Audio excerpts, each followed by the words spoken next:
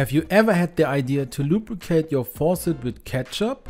In this video I show you what it does, so be sure to watch it all the way to the end.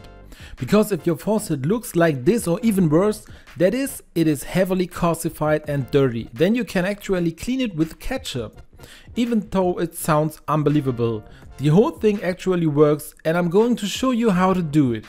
And at the end of the video, of course, I'll show you the final result. I'm going to start by using regular tomato ketchup to lubricate my faucet. I'm going to put some here and then spread everything really well with a sponge.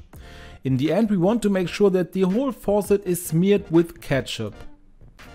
Above all, of course, the places that are also very dirty. This is because ketchup contains various ingredients that can have a cleaning effect. This can be seen very well on pots or even on such a faucet. You can even clean jewelry with ketchup. If everything is now nicely smeared, we should let it act for about 30 minutes. I smeared everything nicely and now I just wait. When the time is up we can take a damp cloth or a damp sponge and start wiping everything off again. I have taken such a sponge and wipe now everywhere nicely over it. In between you must rinse the sponge of course from time to time so that the ketchup disappears then also. Here you can already see after 2 to 3 times wiping over it, the faucet already looks much better. In the end everything still rinses off really nicely and then I show you the grandiose result of course.